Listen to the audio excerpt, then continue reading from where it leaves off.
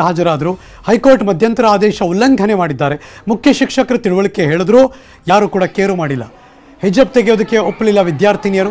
ಹರಿಹರದ D M ಪ್ರೌಢಶಾಲೆಯ ದೃಶ್ಯ ಇದು. ಏ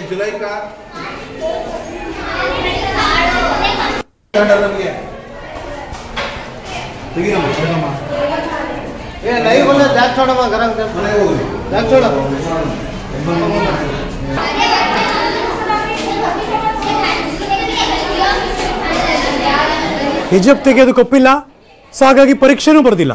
ಹತ್ತಕ್ಕೂ ಹೆಚ್ಚು ವಿದ್ಯಾರ್ಥಿನಿಯರು. ನಾವು ಪರೀಕ್ಷೆ ಬರೆಯಲ್ಲ ಅಂತ ಮನೆಗೆ ಹೋದ್ರು. ಈಗ ಮನೆಗೆ ಹೋಗ್ತಿರೋ ದೃಶ್ಯ ಅದು.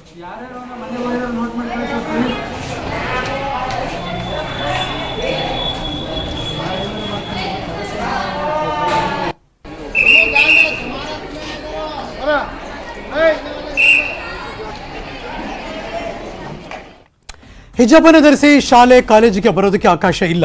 ಯಾವುದೇ ಕಾರಣಕ್ಕೂ ಕೂಡ ಹಿಜಾಬ್ ಧರಿಸಿ ಬರೋದಕ್ಕೆ ಬಿಡಲ್ಲ. ಚಾಮರಾಜನಗರದಲ್ಲಿ ಉನ್ನತ ಶಿಕ್ಷಣ ಸಚಿವ ಡಾಕ್ಟರ್ ಅಶ್ವಥ್ ನಾರಾಯಣ ಹೇಳಿಕೆ ಕೊಟ್ಟಿದ್ದಾರೆ. Breaking news.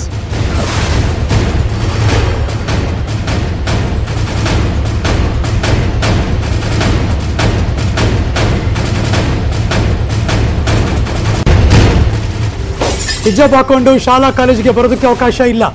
ಯಾವುದೇ ಕಾರಣಕ್ಕೂ ಹಿಜಾಬ್ ಧರಿಸಿ ಬರೋದಕ್ಕೆ ಬಿಡಲ್ಲ. ಚಾಮರಾಜನಗರದಲ್ಲಿ ಉನ್ನತ ಶಿಕ್ಷಣ ಸಚಿವರ ಮಾತು. ನ್ಯಾಯಾಲಯ ಸೂಚನೆ ನಂತರ ಹಿಜಾಬ್ ಧರಿಸಿ ಬರೋದು ತಪ್ಪಾಗುತ್ತೆ. ಕಾನೂನು ಉಲ್ಲಂಘಿಸಿದವರನ್ನ ಕ್ಷಮಿಸೋ ಪ್ರಶ್ನೆನೇ ಇಲ್ಲ. ಶಾಲಾ ಕಾಲೇಜುಗಳಿಗೆ ಹೊರಗಿನ ಶಕ್ತಿಗಳು ಪ್ರವೇಶ ಮಾಡಬಾರದು. ಸಚಿವ ಡಾಕ್ಟರ್ ಅಶ್ವತ್ಥ್ ನಾರಾಯಣ್ ಹೇಳಿಕೆ ಕೊಟ್ಟರು.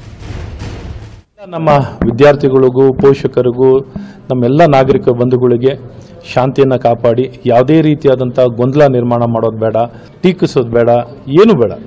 ಕಲೀಲಿಕ್ಕೆ ಬಂದಿದ್ದೀವಿ ಯಾರೇನು ವೇಷಭೂಷಣ ನಮ್ಮ ಡಿಗ್ರಿಯಲ್ಲಿ ಯಾವುದೋ ರಿಸ್ಟ್ರಿಕ್ಷನ್ ಇಲ್ಲ.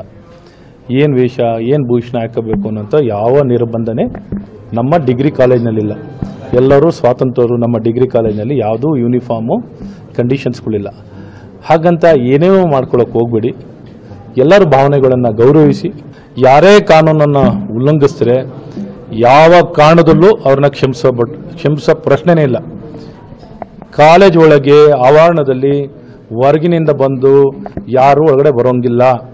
ಒಳಗಿದ್ದ ವಿದ್ಯಾರ್ಥಿಗಳಾಗಲಿ, ಪ್ರಾಧ್ಯಾಪಕರಾಗಲಿ ಸಂಪೂರ್ಣವಾಗಿ ಜವಾಬ್ದಾರಿಯನ್ನು ಹೊತ್ಕೋಬೇಕು. ಆ ಸಂಬಂಧಪಟ್ಟ ಪ್ರಾಂಶುಪಾಲರು, ಪ್ರಾಧ್ಯಾಪಕರು ಎಲ್ಲರೂ ಜವಾಬ್ದಾರಿನ ಹೊತ್ತು ಸಂಸ್ಥೆ ಒಳಗೆ ಈ ಒಂದು ಸಮಾಜ ಅಂದಮೇಲೆ ಎಲ್ಲ ರೀತಿ ಇರುತ್ತೆ.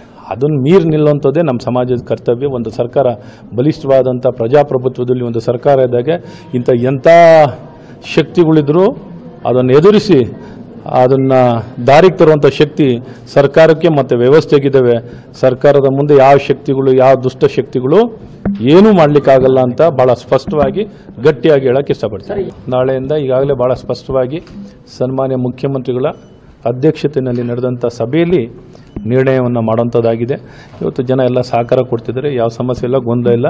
ನ್ಯಾಯಾಲಯವೂ ಸಹ ಭಾಳ ಸ್ಪಷ್ಟವಾಗಿ ಇಂಟ್ರಿ ಆರ್ಡರ್ ಕೊಟ್ಟಿರೋ ಕಾರಣ ಯಾವ ಗೊಂದಲನೂ ಇಲ್ಲ. ಇವತ್ತೇನು ಭಾಳ ಸ್ಪಷ್ಟವಾಗಿ ಆ ಒಂದು ನ್ಯಾಯಾಲಯ ಕೊಟ್ಟಿರುವಂಥ ತೀರ್ಪನ್ನು ಸಂಪೂರ್ಣವಾಗಿ ಈಗ ಅನುಷ್ಠಾನ ಮಾಡುವಂಥದ್ದು ಆಗ್ತಿದೆ ಎಲ್ಲ ಮುಂದುವರಿತೆ, ಮತ್ತೊಂದು ಬ್ರೇಕ್ ಆದ್ಮೇಲೆ ಕಾಯ್ತಾ